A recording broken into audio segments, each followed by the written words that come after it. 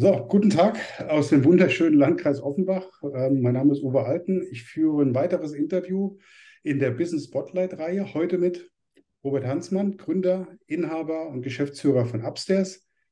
Robert, ich freue mich sehr, dich nach so langer Zeit wieder zu sehen und viel mehr über Upstairs auch zu erfahren, wo ihr hingegangen seid über die vielen Jahre, die du jetzt das Unternehmen schon hast. Und vielleicht erzählst du am Anfang so ein bisschen erstmal ein wenig nochmal über dich und was sich so hinter Upstairs verbirgt. Ja, hallo Uwe. Erstmal vielen Dank für die Einladung zu diesem tollen Talk heute, äh, zu dem ich mich hier in meinen kühlen Keller zurückgezogen habe. Ich habe gerade gemerkt, wir sind noch gar nicht so weit voneinander entfernt und Ja, trotzdem haben wir uns so lange nicht mehr gesehen. In Seligenstadt gibt es definitiv das beste Eis im Süden von Frankfurt. Einladung angenommen. Ja, die größte Portion geht auf deinen Platz, auf meine Rechnung. Ja, wir sind hier in Seligenstadt seit äh, mittlerweile 27 Jahren als kleine Incentive- und Eventagentur, ähm, haben uns hierher verflüchtigt, ähm, weil uns die Nähe zu Frankfurt immer ganz gut gefallen hat und die ist auch sehr, sehr wichtig. Aber die vielen Negativpunkte, die eine Großstadt mit sich bringt, die fanden wir damals, als wir gegründet haben, äh, nicht so gut und deswegen sind wir relativ schnell an einen der schönsten Plätze, nämlich nach Seligenstadt gegangen. Wir sind in einer Viertelstunde am Flughafen, in 20 Minuten in der City, haben, also sind immer sehr kundennah. Und von hier aus betreuen wir viele Kunden nicht ausschließlich im Rhein-Main-Gebiet, sondern im Prinzip in der ganzen Republik ähm, mit verschiedenen Kommunikationsdienstleistungen rund um das Thema Event. Da reden wir über Konferenzen, Incentives, Promotions, Konzeption ähm, und Realisation von Messeständen, ähm, Feierlichkeiten jeglicher Art, Awardverleihung, Firmenjubiläum. Das ist so unser, das ist das, was wir gut können. Welche Rolle spielen denn heutzutage digitale oder hybride Events? Hättest du mich das vor zwei Jahren gefragt, hätte ich gesagt, das ist die ultimative Rolle. Ähm, und ich hätte tatsächlich, ähm, Klammer auf, Fehleinschätzung gedacht, dass es wichtiger bleibt, digitale Events oder auch hybride Events zu realisieren.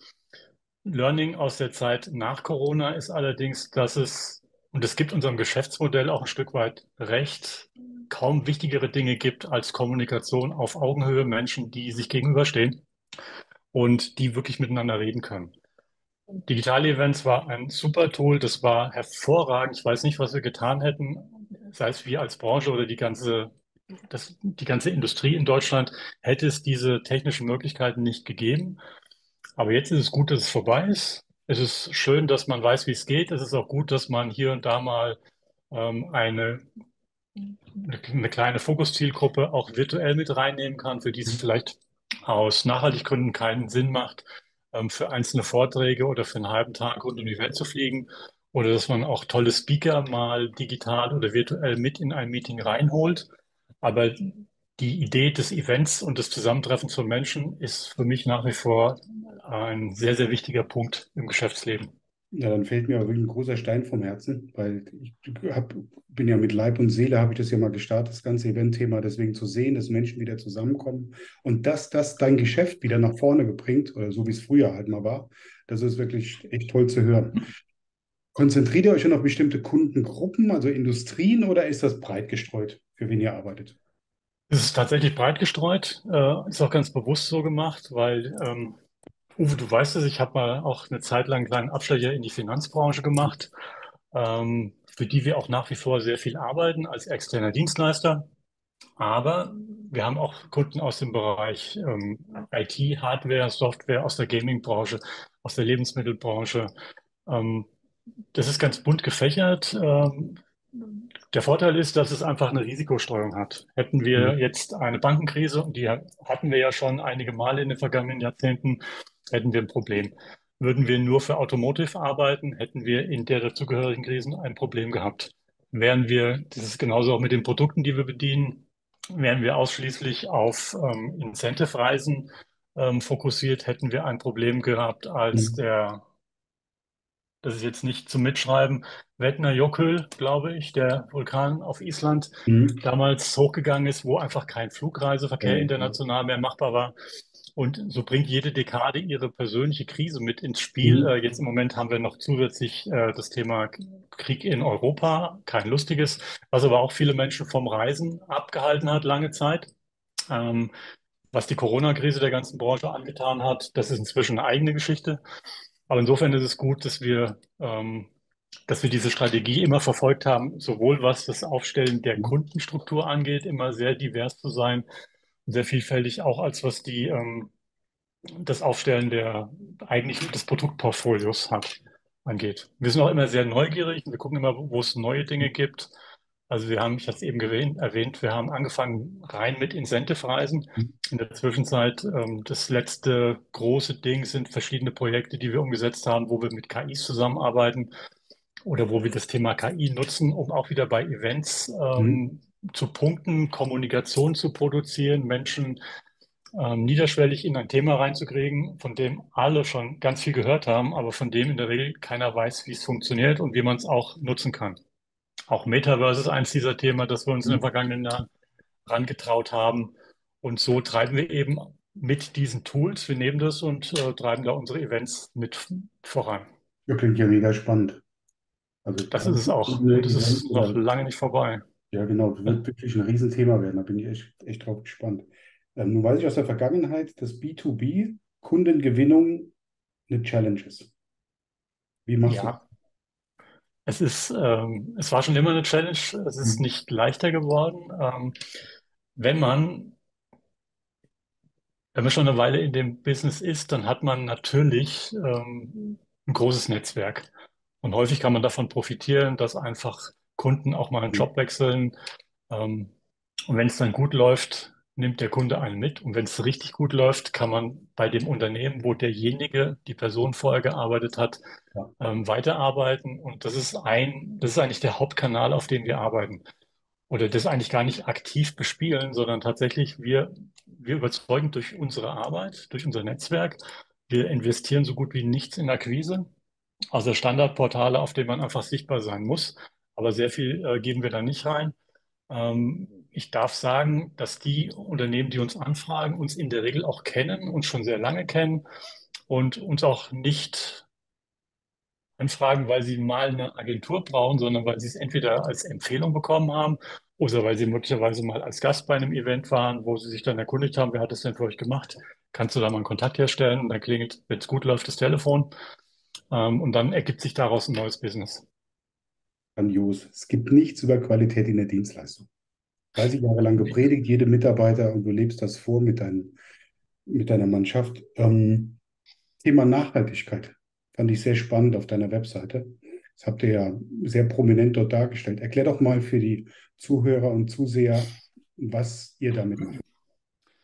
Ja, was meinen wir damit? Wenn ich jetzt, das, was ich heute sage, ist morgen schon wieder nicht mehr ausreichend. Mhm. Also was wir tun, ist, dass wir, das haben wir auch schon vor vielen Jahren begonnen. Das Thema ist also nicht ganz neu. Wir haben ein Nachhaltigkeitsteam in der Agentur, die sich darum kümmern, dass wir zum Beispiel, sei das jetzt in-house oder auch bei der Realisierung unserer Projekts, äh, unserer Projekte, möglichst sinnvoll arbeiten.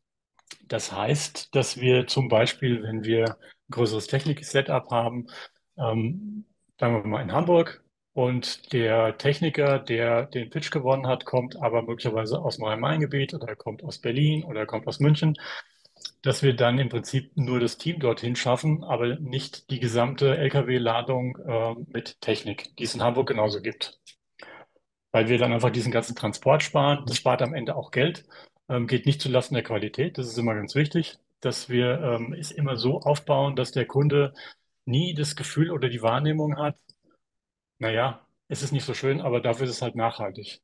Das darf nie passieren, dass dieser Nachhaltigkeitsgedanke verknüpft mit, mit einer abweichenden oder mit einer geringeren Qualität. Das ist, ein, das ist das A und O dabei.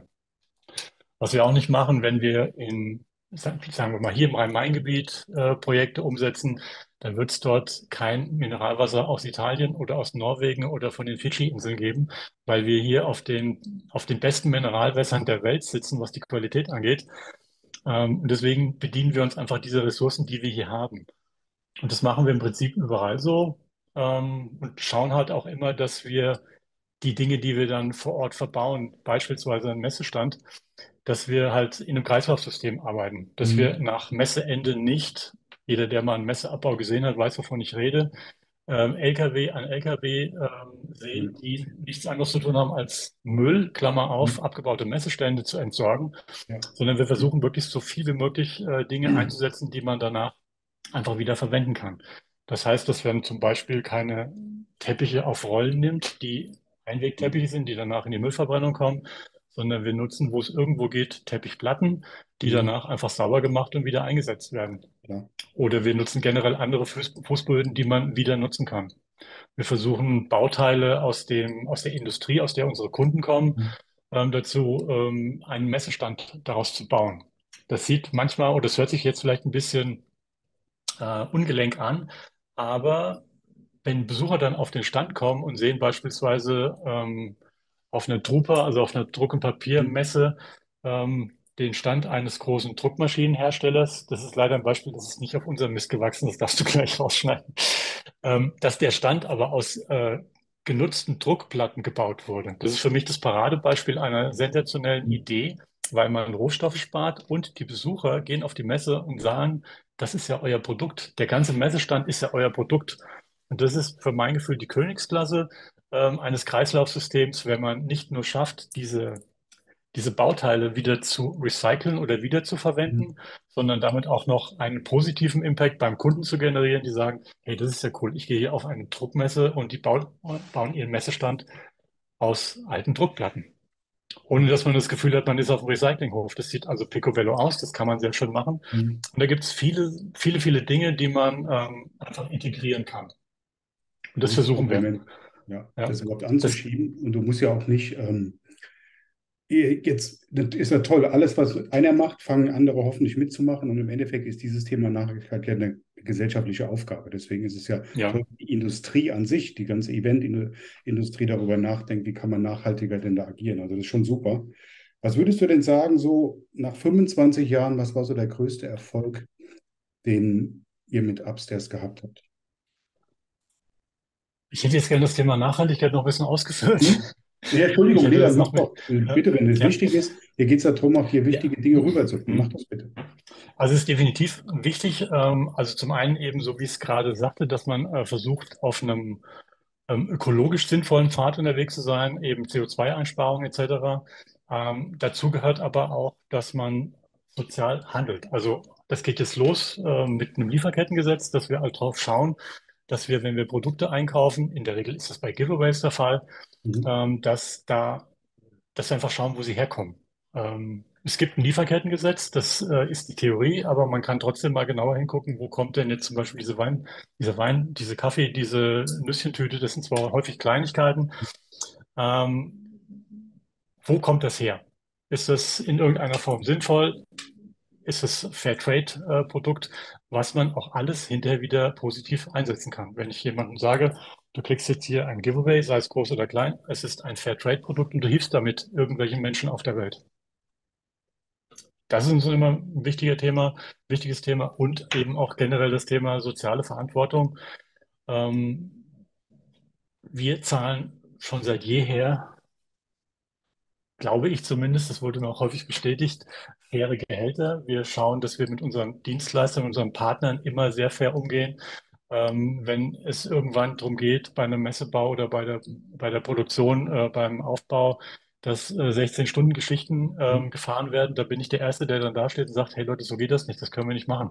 Mhm. Also es kann nicht sein, dass jemand 16 Stunden aufbaut ähm, und dann irgendwann vielleicht jemand beim, beim Aufbau von einem Rig runterfällt, weil er einfach komplett übermüdet wird, übermüdet ist. Das kann nicht sein.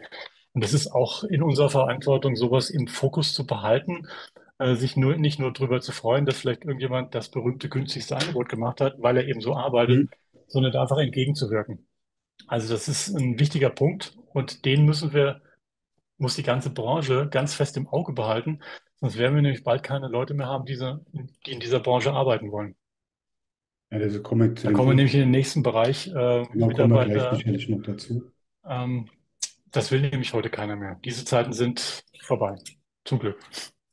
Das, nee, das Gute ist aber, du sagst ja Qualität als eines eurer USPs, ja, Nachhaltigkeit, damit, das kann ja wunderbar verwoben werden. Also, dass du dann wirklich dann, dann dich noch weiter erweitern kannst, was tatsächlich der Kunde sagt, da kann ich sicher sein, ich kriege die Qualität, das ist nachhaltig in der, in der Umsetzung. Also für mich als Auftraggeber ist natürlich auch ein Riesen-Benefit, sowas zu machen und in solche Richtung zu denken. Also deswegen, das ist ein großes Kompliment, Hut ab. dass er so konsequent das Ganze durchzieht. Und ich kann nicht sagen, als jemand, der da groß geworden ist, auch in dieser Eventindustrie. Deswegen, da sind viele Dinge, da klingelt es bei mir im Hinterkopf dann nochmal. Mhm. Kommen wir zu der einen Frage. Was, was war denn jetzt ja. der größte Erfolg? Was würdest du denn sagen? Der größte Erfolg kann ich so eigentlich gar nicht rauspicken. Ich glaube, dass für mich ist das Projekt Upstairs eines, äh, also neben meiner oder nach meiner Familie ist das der ja. größte Erfolg ähm, meines Lebens. Als Gründer, als äh, jemand, der ursprünglich gar nie vorhatte, Unternehmer zu werden, ähm, mhm. es dann irgendwann aus verschiedenen Gründen probiert hat und ich dann gemerkt habe, okay, das funktioniert. Und dann ein stetiges Wachstum. Wir wurden nie gekauft. Also mhm. wir sind vom ersten, seit dem ersten Tag an Inhaber geführt, komplett selbstständig, unabhängig. Und diese Konstanz ist, denke ich mal, das, worauf ich am meisten stolz, mit ein bisschen Stolz, ja, zurückblicke und sage, ja, das hat gut funktioniert. Auch sagen kann, dass ich ähm, oder wir in der Agentur als Team sehr viele Kunden teilweise seit über 20 Jahren betreuen.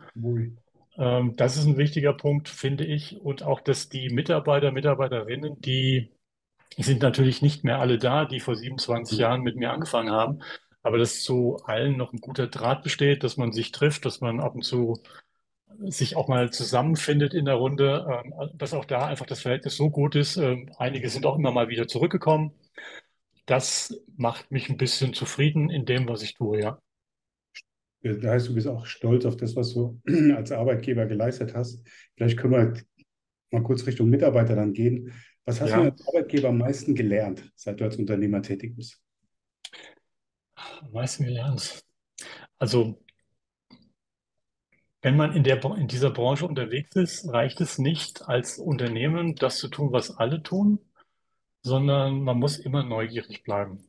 Also man sollte schauen, dass man immer irgendwelche Trends ob man die immer prägen kann, das ist die eine Frage, aber vielleicht kann man sie zumindest früh genug erkennen und dann zum Stück weit mitgestalten, sodass auch Mitarbeiter immer das Gefühl kriegen, ich bin jetzt nicht in einem Unternehmen, die das machen, was alle machen oder die das machen, was sie schon immer gemacht haben, sondern wo A, entweder jemand ist, der immer guckt, wo geht die Reise hin, was ist das nächste große Ding, wie kann man einfach Kunden immer wieder positiv überraschen oder wo ich als Mitarbeiter auch selbst die Chance habe, solche Punkte äh, zu positionieren. Und das ist halt auch für uns ein ganz wichtiger Punkt, dass wir viel miteinander reden und wir tauschen uns wirklich regelmäßig aus. Wenn irgendjemand von irgendwoher wiederkommt, dann gibt es ein Debriefing, dann werden, dann gucken wir, was ist gut, was ist gut gelaufen, was hat man für Impulse mitgebracht und was kann man daraus machen. Gute Vorlage für die nächste Frage, denn dann würde ich mal auf Mitarbeiter eingehen. Welche Eigenschaften suchst du denn bei deinen Mitarbeiterinnen und Mitarbeitern und wie förderst du ein positives und ein produktives Arbeitsumfeld? Also was suche ich? Ich suche natürlich Menschen mit, ähm, die ein gewisses Maß an Fachkenntnissen haben. Das kommt darauf an, in welcher Hierarchie, ob das jetzt jemand ist direkt von der, der mhm. vielleicht gerade von, von der Uni kommt oder jemand, der schon Erfahrung hat. Das ist so immer so ein bisschen eine Frage des Gesamtpaketes. Aber es, es, es sollten, sagen wir mal, der Hierarchie entsprechende Fachkenntnisse vorhanden sein, wobei das für mich nur ein kleiner Part ist. Weil ich denke mal, dass jemand, der von seinem Wesen, von seiner Persönlichkeit her für diese Industrie geeignet ist, wenn dem jetzt irgendein Skill fehlt, ähm, wenn er bis dahin gekommen ist, dann wird er diesen Skill auch relativ schnell lernen, wenn er Bock hat auf diesen Job. Und ich, für mich ist das nach wie vor einer der großartigsten, äh, eines der großartigsten Berufsbilder, die wir hier so in Deutschland haben. Äh, vielseitiger geht es kaum. Und die Menschen, die ich bisher, kenne, bisher kennengelernt habe in unserer Industrie, die sind auch alle bereit, sich Neues drauf zu schaffen, wenn es darum geht, mit diesem Kern dann wieder irgendwas Großes zu reißen. Ja, also so gesehen ist es die Persönlichkeit, die Aufgeschlossenheit, mhm. die Kommunikationsfreude, die, die Freude mit Menschen, für Menschen, was zu tun. Ja, so eine intrinsische Motivation ist ja in all ja. denen gegeben, die da sind. Und wenn du was Neues einwirfst, dass alle draufspringen und sagen, boah, da habe ich jetzt Bock drauf, einfach mitzumachen. Genau. Ja, das ist ja. schön zu hören, dass es die noch gibt und dass sie wirklich Lust haben und dass du auch darauf Wert legst, diese zu finden und mit denen, mit denen tatsächlich was zu schaffen. Was würdest du denn sagen, was sind so die häufigsten Missverständnisse über die Führung eines Unternehmens? Diese Frage, über die habe ich lange nachgedacht. Ähm, ich, ich, kann die nicht, ich kann die nicht druckreif beantworten. Ich glaube, das ist, sind allgemeine Vorurteile, ähnlich mhm. wie man vielleicht über die, wenn man über die Politik redet, wenn man dann sagt, die da oben in ihrem goldenen Käfig oder die Agenturmenschen in ihrem Elfenbeinturm. Dass diese, ähm, dieses, ja, Unternehmertum in Deutschland auf der einen Seite hochgejubelt wird, auf der anderen Seite auch immer gerne mal wieder mit Füßen getreten wird. Hm. Ähm, Unternehmertum kommt halt von Unternehmen. Das sind alles Menschen, die irgendwann mal einen mutigen Schritt gemacht haben, die, wenn es gut gelaufen ist, auch irgendwann mal angefangen haben, ihre zu expandieren, mehr Mitarbeiter zu haben, vielleicht äh, größeres Unternehmen zu bauen, größerer Fuhrpark. Vielleicht haben die auch irgendwann mal angefangen, Geld zu verdienen. Ähm, und da, das ist jetzt vielleicht kein Missverständnis, ist aber einfach nicht fair, dann auf die zu zeigen, guck mal, die haben Geld. Vielleicht ist das ein Punkt, aber dieses Geld hat ja, ist denen ja nicht in den Schoß geflogen. Genau, Also es kommt vom Unternehmertum, also vom Machen, Hm. vom Führen, vom richtige Entscheidungen treffen, sicherlich auch mal von falschen Entscheidungen, da geht es halt wieder mal ein bisschen zurück. Ähm, und Missverständnis wäre dann zu glauben, dass das alles von alleine passiert ist. Gut, also du hast das super beantwortet. Hm. Genau auf den Punkt, ja. Man muss sich reinwerfen und zusehen, dass man das hinbekommt und darf sich von Rückschlägen nicht entmutigen lassen. Deswegen, welche Herausforderungen siehst du denn jetzt für dich für die Zukunft für Upstairs? Die nächste Herausforderung ist ganz akut Thema, was wir gerade hatten, ähm, Fachkräftemangel. Also wir suchen seit, naja, sagen wir mal, seit zwei Monaten habe ich die Augen offen. Seit circa zwei Wochen suche ich aktiv auf verschiedenen Portalen, ähm, habe das Netzwerk angezapft und es dreht sich nichts. Ich hatte jetzt zwei Telefonate, die beide gut waren. Hm. Da muss man mal sehen, was dabei rauskommt. Aber grundsätzlich ist, ähm, und jetzt springe ich zurück zu dem Punkt, wir müssen unsere Menschen gut behandeln. Unsere, sei es unsere Subunternehmer oder auch unsere eigenen Mitarbeiter. Wir müssen die gut behandeln, sonst sind die alle weg. Weil die, die alle verschwunden sind, von denen keiner weiß, wo sie sind in der Corona-Zeit, die kommen alle nicht mehr wieder zurück in die Eventbranche, weil die alle irgendwo gelandet sind, wo sie möglicherweise einen Fünf-Tage-Job haben, wo sie mehr Urlaubstage haben, mehr Gehalt haben, mehr betriebliche Altersvorsorge etc. Und die dazu zu begeistern, wieder zurückzukommen in den, sagen wir, in diese Wildwest-Manier, die wir teilweise vorher hatten, mit 16-Stunden-Tagen, mit äh, nicht vergüteten Überstunden etc., Hm. all diese Sachen, ähm, das wird schwierig. Und wenn wir, die, wenn wir Leute haben wollen, müssen wir sie gut behandeln, Klammer auf, gut bezahlen. Das ist sicherlich der Entscheidungsprozess Nummer eins oder das Kriterium Nummer eins. Danach kommen viele Sachen einfach, was, das geht für mich direkt in das Thema Team. Ähm, niemand will für noch so viel Geld in einem scheiß Team arbeiten. Also da arbeiten wir in der Agentur ähm, seit vielen Jahren wirklich aktiv dran. Also wir machen gemeinsam irgendwelche Events, wir gehen zu irgendwelchen Lauf-Events, wir kochen jeden Mittag in der Agentur. Also wir haben eine richtige Küche, da wird eingekauft. Einer oder zwei sind immer ähm, sind immer dran, die müssen oder dürfen kochen. Es darf experimentiert werden. Es schmeckt auch nicht immer alles, aber es ist jedes, jeden Mittag ein Happening, ähm, einfach in der Agenturküche zu sehen, gucken wir doch mal, was die beiden da jetzt zusammen gekocht haben. Und dabei kommst du halt einfach mal aus dem Alltag raus. Man Mhm. redet über Privates und das ist halt einfach in meinen Augen einer der wichtigsten Punkte. Ähm, dazu kommen flexible Arbeitszeitmodelle, ähm, eine Top-IT-Ausstattung, also Mhm. einfach generell gute Arbeitsbedingungen. Also ich kann von jemandem erwarten, der mit einer miserablen Ausstattung unterwegs Ja. ist, dass er einen 1A-Job abliefert. Das ist Ja. einfach unrealistisch. Aber es zeigt doch, mit welcher Inbrunst, welcher Energie, mit was für einem Spaß du das jetzt schilderst. Und äh, du hast ja auch gesagt, viele Mitarbeiter sind schon lange dabei. Also sollten wir dieses Interview dann als Aufruf auch nutzen, dass junge Menschen sich überlegen, wenn sie ein Umfeld haben wollen, das sie fordert, fördert, wie man so schön immer sagt, ja, dass sie einbindet, ja, wo sie einen Rahmen bekommen, in dem sie ihr Leben selbst gestalten können und trotzdem viel Spaß haben können, dann ist Eventbranche wirklich weiterhin ein tolles Umfeld, ja, wo man unfassbar viel erleben kann. Würde ich so ist unterschreiben. was du beschreibst. Und ähm, die Zeit rennt wie blöd, gell? Also ich könnte jetzt noch Stunden weiter telefonieren. Deswegen, ich würde jetzt nur ein, noch mal einmal kurz fragen, gibt es eine Frage, die ich dir nicht gestellt habe, die ich dir hätte stellen sollen? Kalt erwischt, eine Frage, die mir fällt mir so spontan nichts ein. Hättest mich jetzt konkret fragen müssen können, ob ich das, wir haben uns ja kennengelernt, also vor über 30 Jahren haben wir uns kennengelernt, da war ich schon in der Branche, ich mache das heute noch. Ich glaube, damit ist klar, dass mir das Spaß macht. Hm, Ähm, ich hoffe, das kam jetzt auch in dem Gespräch einigermaßen rüber, dass ich wirklich ähm, zu 100 Prozent dafür brenne. Und eigentlich suche ich Leute, die so ähnlich äh, ticken. Ähm, das sucht die ganze Branche. Und wenn uns das gelingt, diese Branche auch wieder attraktiv zu machen, ähm, dann ähm, sage ich dieser Branche eine große Zukunft voraus. Also hätte ja sein können, jetzt also als Abschluss würde ich sagen, ähm, es ist eine Branche, die hat Zukunft, weil du ja gesagt hast oder demonstriert hast und gezeigt hast und erlebt hast mit deinem Unternehmen, dass Menschen wieder mit Menschen zusammenkommen wollen, also das, dieser persönliche Kontakt wieder und nicht nur der reine digitale Kontakt, den wir alle über Social-Kanäle hier haben mit Menschen, aber dieses persönliche Erlebnis ist ein Treiber für euer Business und alle Menschen, die dabei sein wollen, das erleben wollen, wenn Menschen Spaß und Freude haben. Das können wir beide ja sagen, weil wir es beide ja erlebt haben. Diese Freude in den Gesichtern der Menschen zu sehen, das Lachen zu sehen, das können Eventagenturen heutzutage immer noch hervorragend.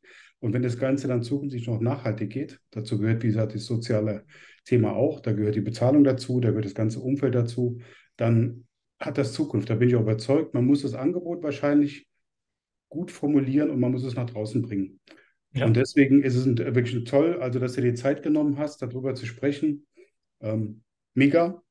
Also freue mich wirklich, dass es wirklich noch so Unternehmer gibt wie du in diesem Event-Business, das absolut fun funktioniert, auch wenn ich in digitaler Richtung gegangen bin in die letzten zehn Jahre.